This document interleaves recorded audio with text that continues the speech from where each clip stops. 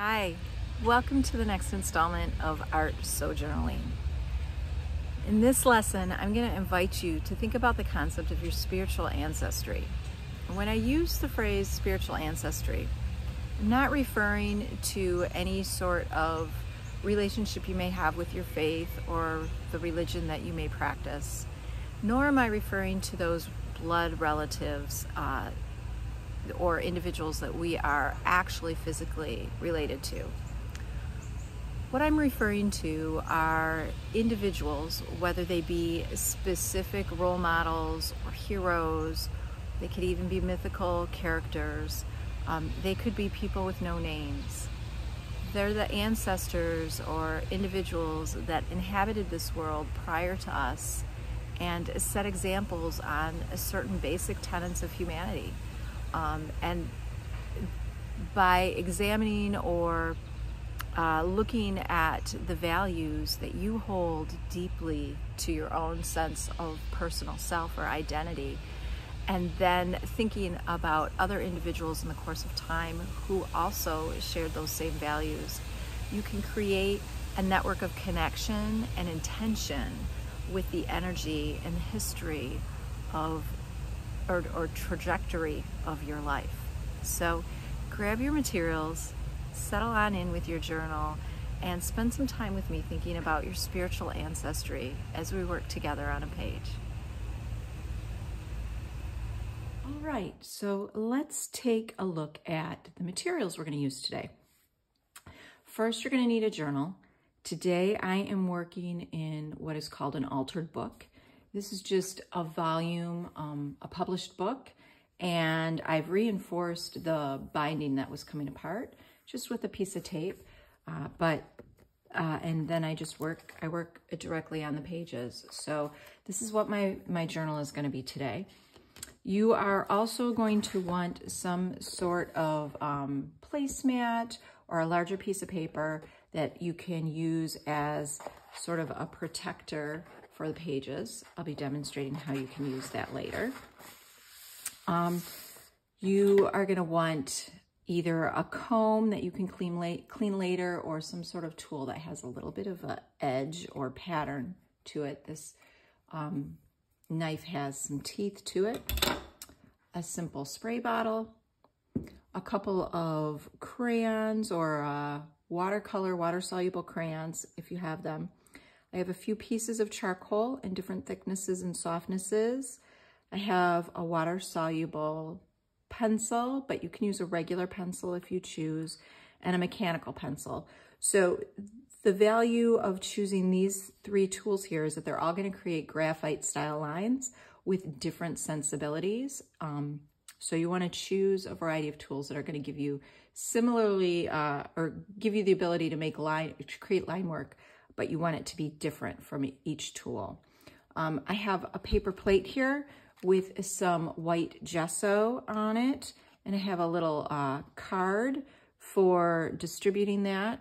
And I also have um, just a house paint sample, and it's in a color that's very similar to um, the white gesso, as well as the cream of my page. So you don't have to use house paint. You can use any type of paint, but what you want is it to be very close in value to your gesso and also to your page. Okay, let's get started.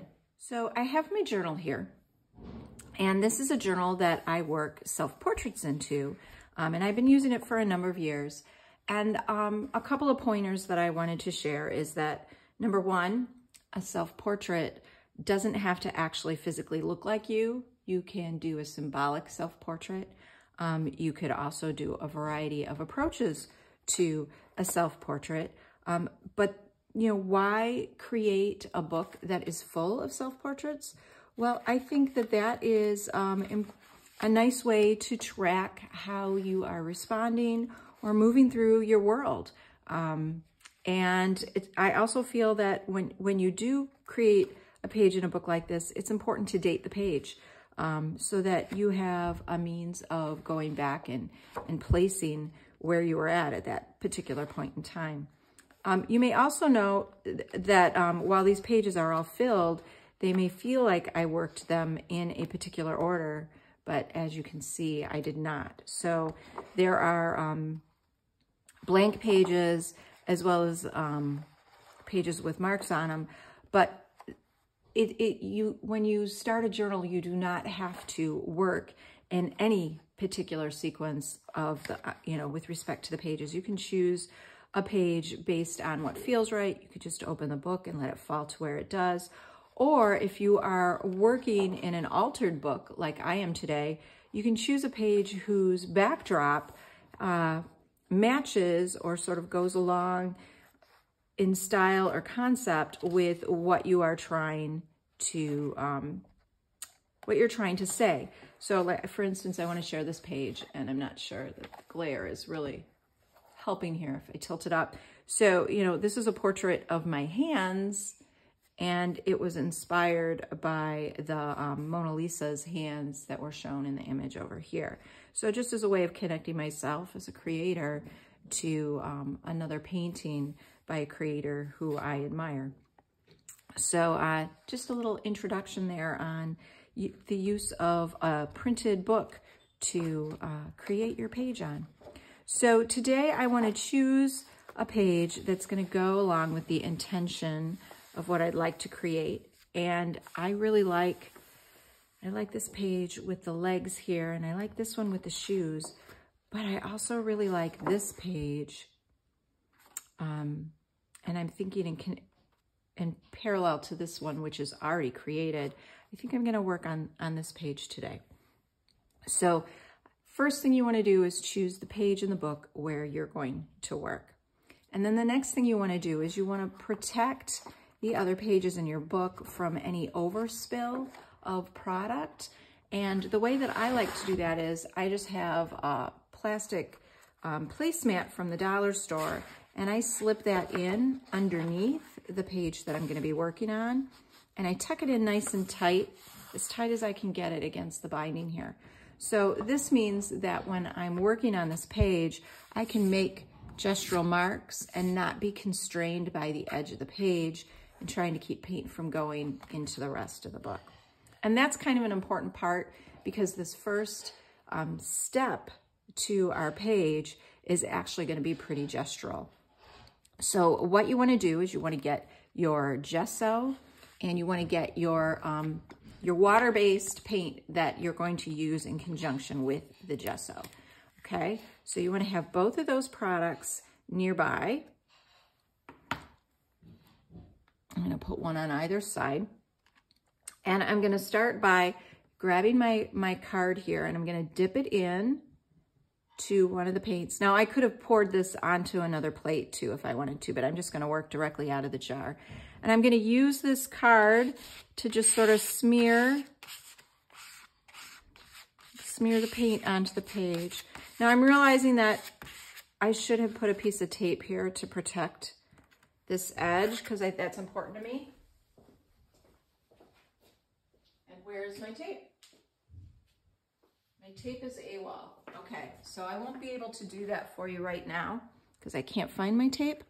But um, if you want to preserve what's going on the other page, you may want to may want to put a piece of tape there to um, keep your edge nice and clean. Now I've just scooped up some gesso and I'm going to scrape the gesso over it. Now I'm, I'm being careful here because I want to preserve that edge.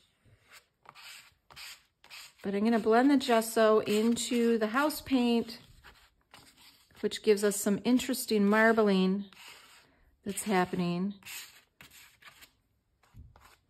I'm also going to carry the gesso over here to the edge of the page.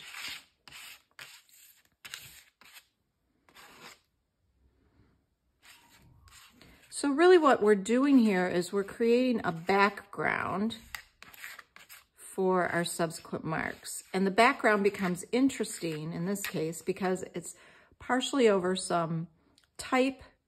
There's a little bit of an image here. And what you're also going to learn is that the combination of gesso, which has a little bit of a tooth to it, and the acrylic paint, which does not, paint is a little bit smoother, is going to give you some really interesting surfaces to play with. I'm gonna put a little bit more of this paint here. Now, I also, I don't want to cover my page completely. I want some of this text and other stuff to show through. And using a card gives me the opportunity to really, really do that. Okay. So I'm not going to overwork it. I'm just going to leave it like it is. And I'm going to close up my paint so that this doesn't dry out. And before it dries completely, I'm going to take this tool and you'll see it has a serrated edge on it. And I'm just going to drag it through or across the page to give us a little bit more texture or interest. And this is optional. You don't have to do this if you don't want to. Um, and honestly, if you do it and you don't like it, you can always go back with your card and take it out, right? You can just smear the paint back over top of it and um, and uh, those, those marks that you scratched right in there will go away. You could also do something similar with the back end or handle of a paintbrush or even pick up a pencil tool and draw into the paint, create some line work when um, the paint is still wet. So we're gonna let this dry and then we'll be back. Okay, so now the spread is dry and I wanna give you a great tip on how to tell if your page is dry. You wanna gently separate it from whatever isolation product you have used and you wanna hold the page gently between your two hands. If you feel any sort of coolness to the page, then it is still damp and you wanna, you wanna give it some more time to dry before you continue to work, okay?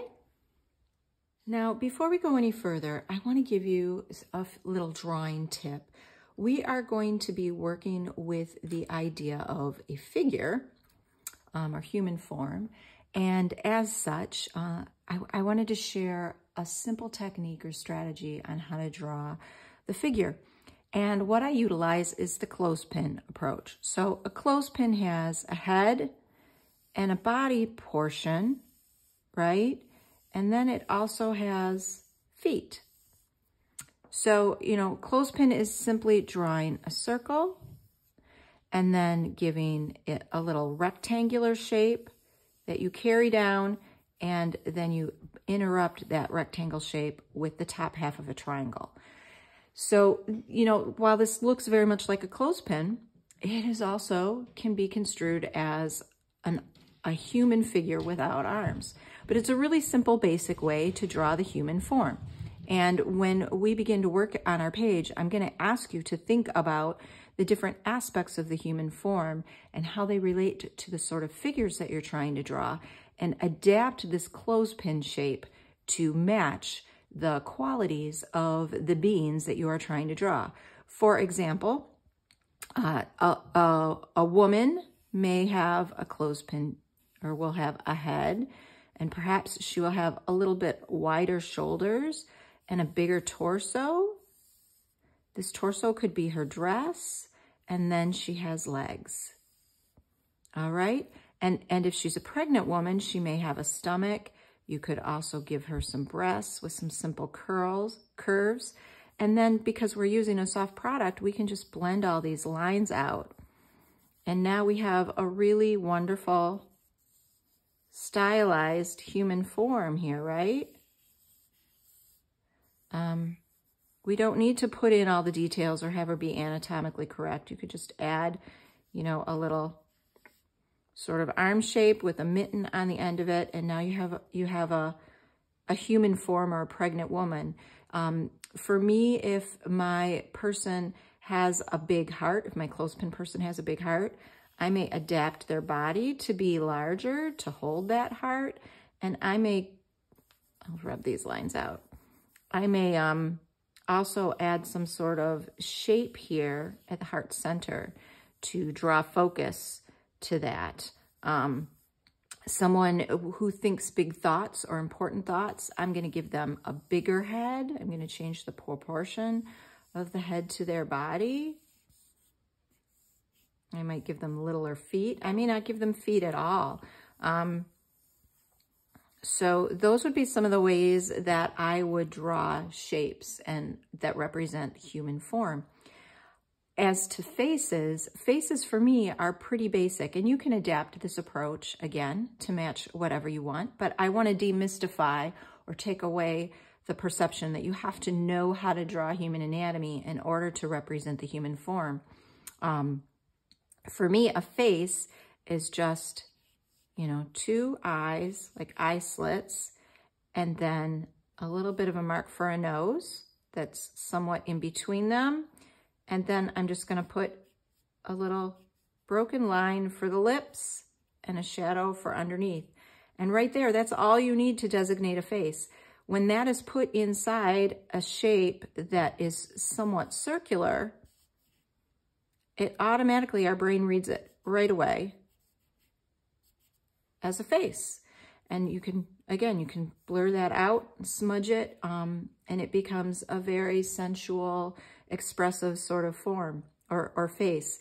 And simple adaptations to this approach or to this sort of face can allow you to make a face more expressive in certain ways. For instance, if you want it to be angry, those eyes are going to be tilted downwards towards each other, right? Um, and maybe the nose, let's get the nose in there. Maybe the mouth is a little dot um, to, rec to represent that it's pursed. Those lips are pursed. Um, if if someone is laughing or smiling, you can you can make that mouth bigger, right? So there is, and and maybe make the eyes a little bit wider.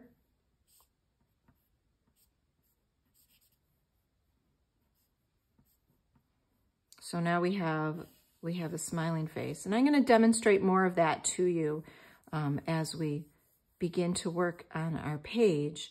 But I, I just wanted you to begin to think about the human form in some really simple, approachable ways so that um, when you start to think about having to draw it in your in your actual journal page, you're not really, um, you're not intimidated. All right, so now it's time to settle into the concept or the idea behind this page spread. And that idea is a portrait of yourself based on your spiritual ancestry.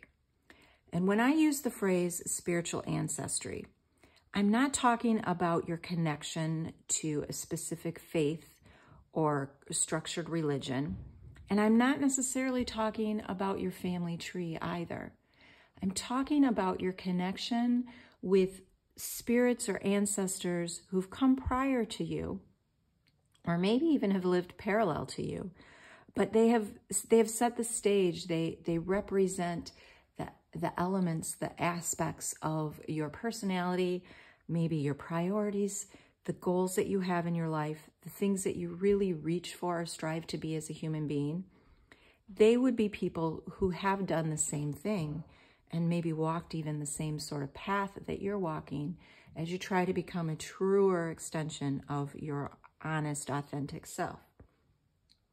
So when we begin to think about these things, there are certain words that come to mind. And the words are going to be different for each of us. But I want you to spend some time thinking about the aspects of being human that you value the most and you can start to jot those words down. Grab one of your tools, um, your drawing tools, and just start to write them down.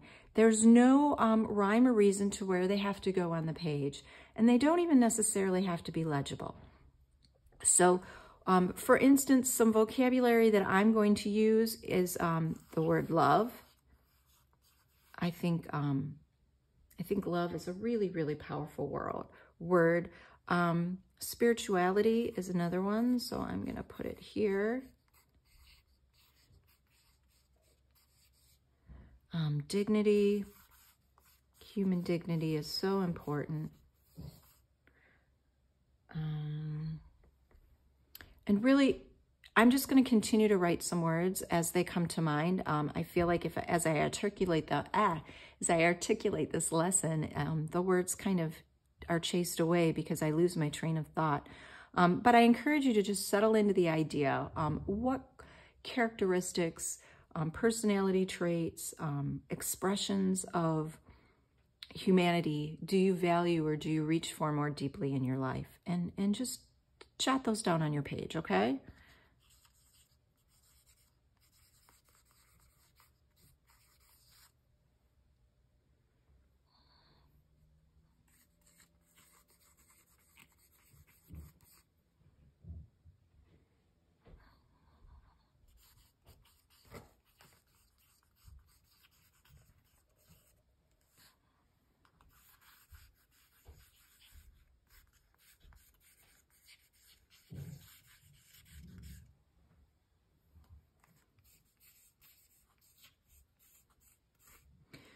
Okay, so you've noticed that I have my words are all different shapes. Some are um, capitalized or my handwriting is different across the page. So I encourage you to utilize some differences in that as well.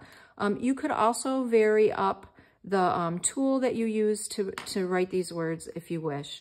And I'm just going to go in with my pinky and I'm just going to smudge some of these out um, because for me it's not important that they remain legible um, so much as I know that they're there on the page. And, and I'm going to use another pencil and write some more on here.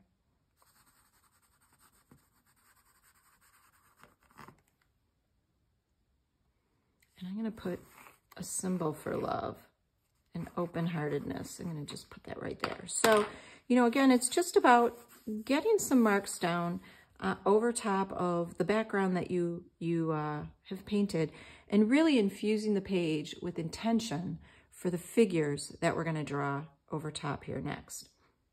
So I encourage you to change, change up your tool if you haven't already. And now we're going to go back to the clothespin figure idea.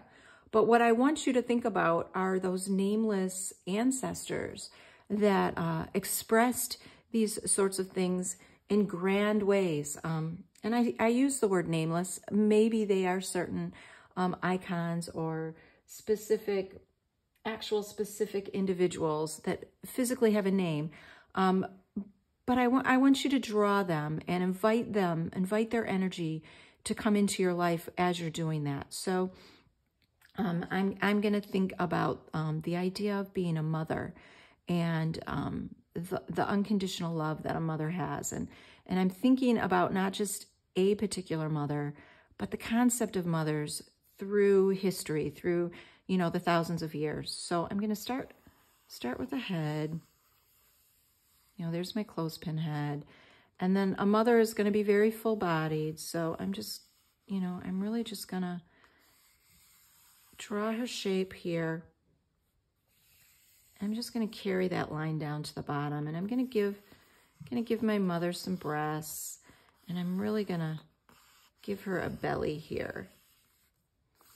And then, you know, I can just take my finger and I can smudge these out and I can go back and I can redraw her. And, you know, when I redraw something, I don't necessarily retrace the lines that I've already that I already have there, I, I make a little bit of a difference. I like, I like that shittery bit. And, you know, for a mother's face, I want it to be peaceful. So her eyes are going to be downcast. There's her nose. Here's her mouth. I'm going to change my tool up. Oops. That charcoal is really soft and, and it blends out. And I want her face to just be a little bit more visible than that. So I'm changing up to a pencil that will give me that. I'm going to give her a little bit of a chin. Okay, so now I have my mother drawn here. Um, another thing that was important to me was, um, or is the, the concept of free thought. So I'm going to draw a figure in here that represents those people who whose beliefs perhaps were different than society's norms at the time, but they refused to change and they spoke their truth. And so in that regard, um, I feel like my figure is going to have a larger head. So let's put that one right here. it's going to, in proportion, their head is going to be much larger. And maybe they have a, a skinnier, smaller body, right?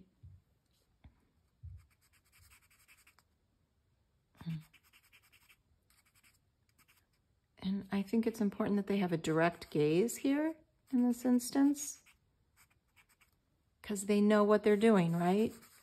They're looking at us and they're saying, I'm not ashamed. I'm not ashamed of the fact that I'm different or that I dare to think differently. And I'm also going to, their thinks could, their thinks, that's great. Their thoughts could change the world, right? They were pretty powerful. So I'm going to put some sun rays out here coming out of their head to just sort of represent the strength of their convictions. So think about how you could perhaps utilize some sort of personal symbolatry to represent whatever your second figure might be. You can continue to add figures in um, and, and fill your whole page. I know that there, there were crowds of individuals. There were lots of people who worked hard for women's right to vote, who fought for the basic freedoms that we enjoy. and So I can represent those crowds of people by just drawing circles for heads right? And stacking them. And then the ones that are right in front or at the bottom of that stack, those are the ones that get the bodies, right? And now I have just created a crowd of people. Um, the scale isn't important. Nothing on your journal page has to be representational of how the real world is. So I give you permission to play with scale and, and really just um, really just express yourself. Put, put your ideas down. Um, and you don't necessarily have to do it in one fell swoop either. You could work on this page in multiple settings. If you find that the concept is something that you really want to sink your teeth into, you could also sit back on uh, or on your facing page, you could do some writing or additional thought about what the concept of spiritual ancestry means to you. I'm going to put one more, I'm going to put one more character in here because I really like the idea of threes. Um, I don't know, three is a powerful, if the Trinity appears in so many different ways um, across the board, but um, this this figure is going to be about about compassion beyond a mother's love. So I'm gonna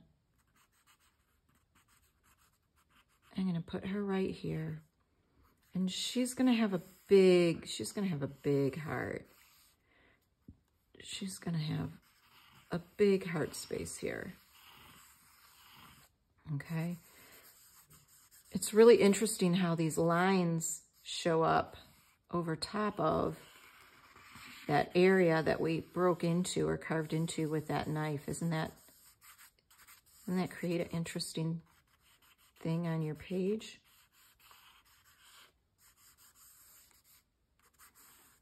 So here we have we have a, a, figure that represents compassion. I didn't even give her a nose, but it doesn't matter. It's going to read as a face. And I'm going to pick up my mechanical pencil, which is going to make a skinnier line here. And I'm just thinking about compassion and how it can change things, you know? So as I do that, I'm radiating with different circles. And look at this mother, this woman. She is creating life. And I'm going to carry a line over to this page too. She's beautiful. And this thinker is also changing things. And look at this crowd. proud of people that dared to sacrifice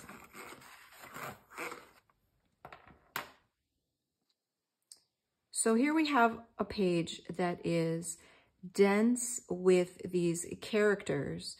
Um, and I'm just going to go in and use my tools and make things a little bit darker in certain places and just really help to make this page have a bit more visual interest. And it's not about coming up with a perfect pattern or design or anything that's pleasing, but it just gives me the opportunity to continue to think about, think about these things, right? And when you do this, you won't try to be, or you won't be narrating the process to anyone in particular. You will just be working on your own page, right? So you'll be able to slide into the meditative quality of it a lot more easily. Now, the next step is to add a little bit of color to the page. And I have a couple of watercolor or water-soluble crayons here. Um, it's not important that you have water-soluble crayons. You could go into this with watercolors if you wished. You could go into this with regular crayons. Um, and again, I want to encourage you to um, not necessarily think about actual color of these figures.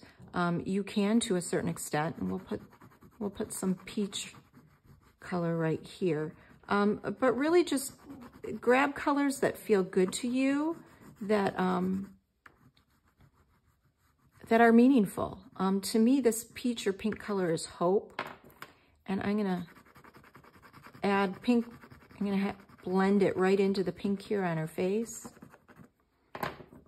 And yellow is also a hopeful color, so I may put some yellow here around her heart.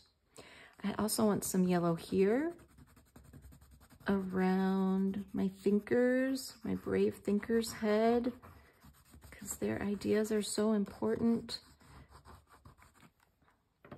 And this mother, I'm going to just give her a little bit of blue. And remember when you're working with crayons, you can make, you know, you can vary your pressure and make them darker and lighter. And you don't have to stay in the lines either.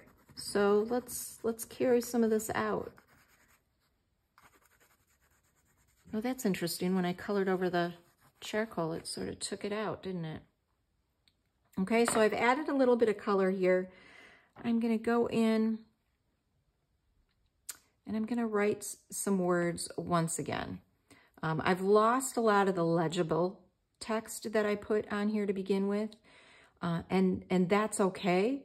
But what I really want to do is settle in to the intention, the awareness that I have um, discovered as I worked on this page and add that with a little bit more text. And one of the things that I've become aware of is how our actions, um, our intentions can radiate um, and ripple. And so um, make waves, perhaps. And uh, so I'm going to put the word radiate right down here. And I want it to be, I want it to be pretty strong. So I'm just going to put it right here. And I'm going to use it with my dark, I'm going to put it down here with my, my darkest pencil. And I'm just going to use a memory of a typeface that's similar to what's on the page beneath where I started out with because I have that typewritten text underneath. So I'm going to make a nod to that content. or that layer of marks.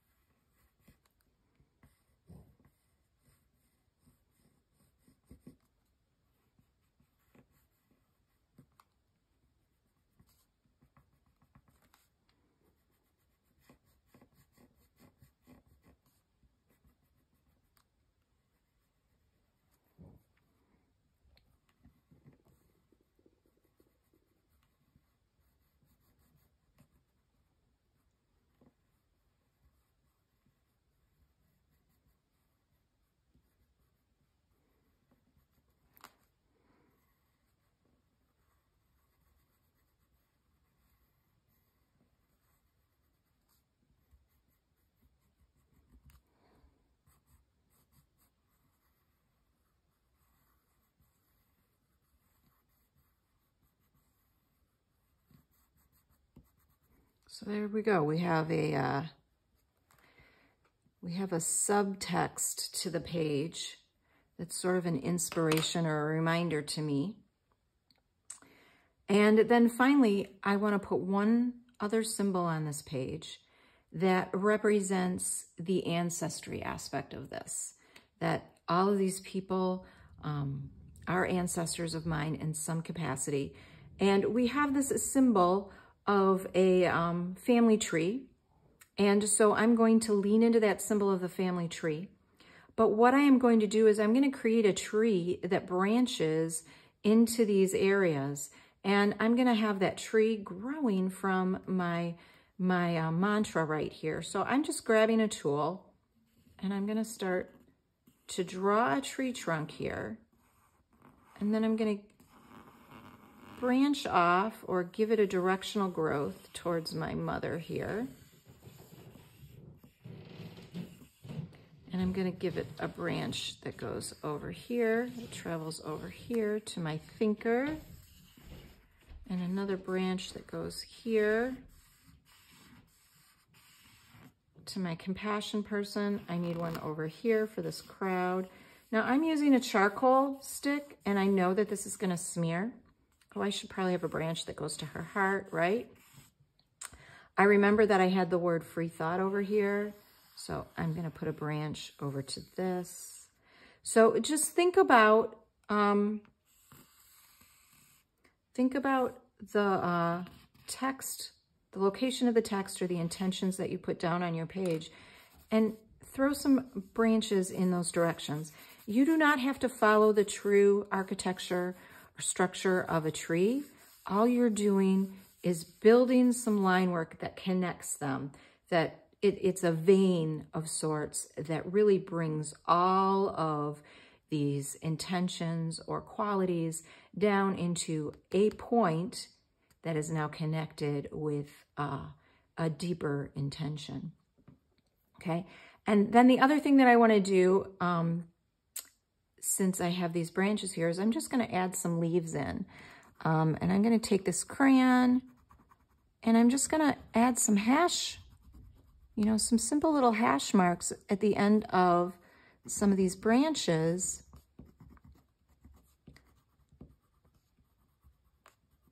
to sort of further identify the tree.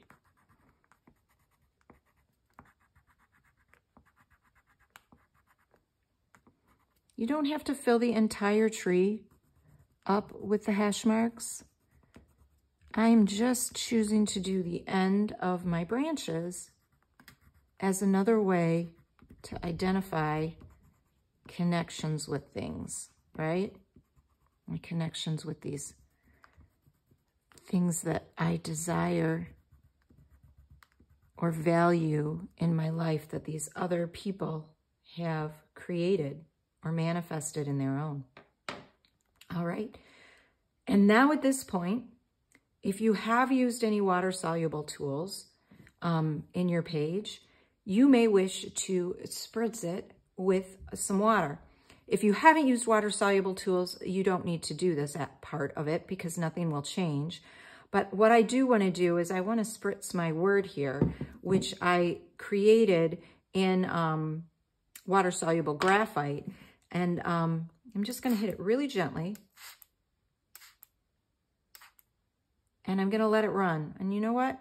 Actually, I think I'm going to hit up here too.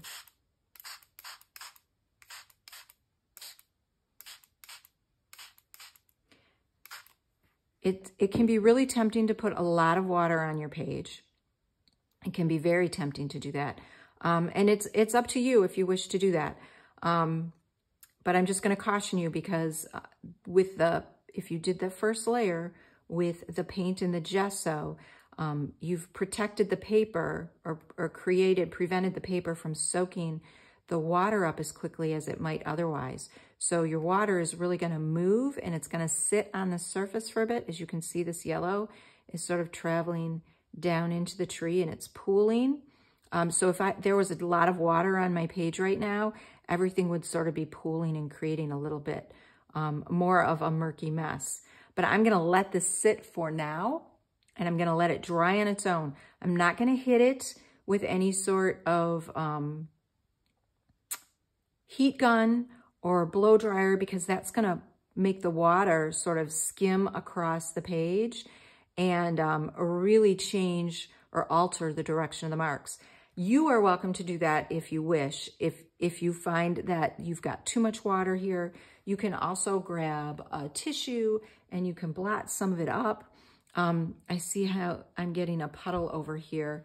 Um, I think it's interesting how the free thought has traveled down or the powerful um, individual thought has traveled down into my compassion and they're mingling together. Um, I find that symbolically really um, powerful.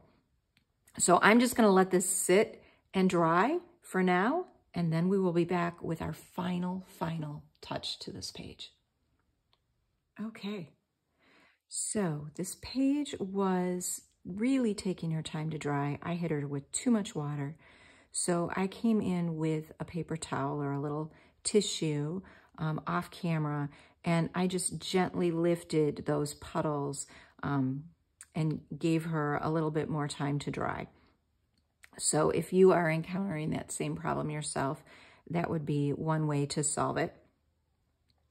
The next step here is that I want you to think of yourself as a tree, or perhaps you are some other plant. But I want you to choose a plant or tree that represents who you are. And I want you to think of yourself as a spiritual ancestor for someone who has yet to be born. And in that capacity, then, I'm going to ask you to do a little bit of research. That research could be a Google search. It could be a walk in your yard. But I want you to do a little bit of research and see what you can find if you have access to the elements, literal elements of that thing, that symbol of that plant or tree that you have chosen for yourself. If you don't have access to the physical um, leaves or whatnot from that plant or tree, you can draw one, you can paint one, you can print a photo out, you can collage it onto your page. Um, but I really want to encourage you, if you are able, to find physical manifestations of that particular object uh, or plant so that you can include it on your page. Um, I think that it's really important that we are aware of the fact that our journals can contain far more than just traditional art materials. So for me, what I have chosen is a maple tree. Um, and I've chosen a maple tree. You know, I don't even honestly know what a maple tree means, and I, I should Google that. Um, but maple trees have always towered over the homes that uh, I have raised my children in. So they're really, really important to me. And I have lots of memories of playing with the helicopters with my children. And since that's an important aspect of my page, I'm going to embrace that in this final step. So I have a small leaf here that I could um, collage in, and I have a couple of different helicopter um, pieces that I picked up.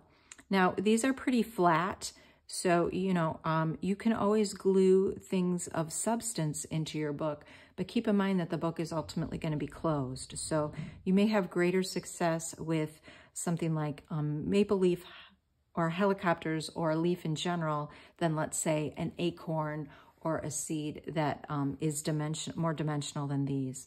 So I'm just to sort of play with these in different locations on the page and see what see what feels see what feels or looks like it's interesting to me.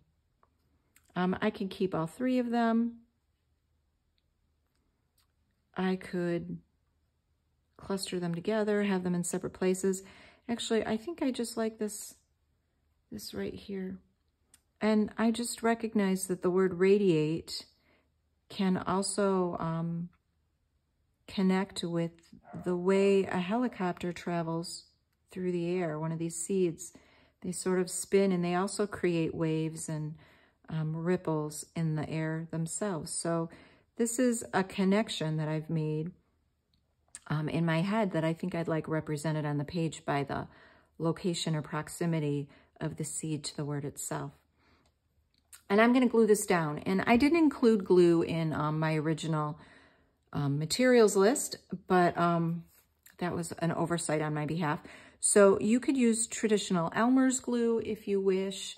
Um, you can use Mod Podge, whatever, whatever um, product you happen to have on hand. I'm going to use a matte medium um, only because the matte medium has a bit more thickness to it. And since this is thicker than a traditional piece of paper, I just want to make sure that the product I use is just really gonna reflect that. Oop. So I scooped some of that out with my credit card here and I'm gonna slather some on. Let's see.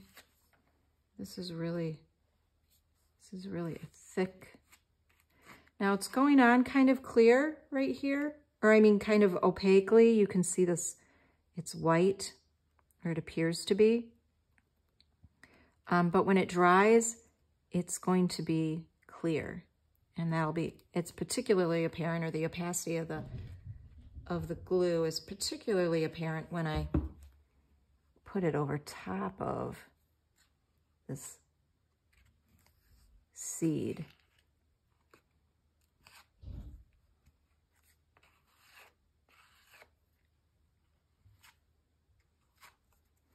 So I want to get a good coat over top of it because I'm putting, you know, something dimensional on my page and I want it to be protected.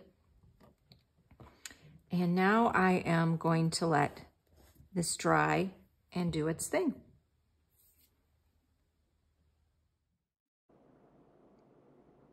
So here we are now out in the garden with with my journal and a few of the elements that inspired it and uh, I just wanted to remind you to date your page.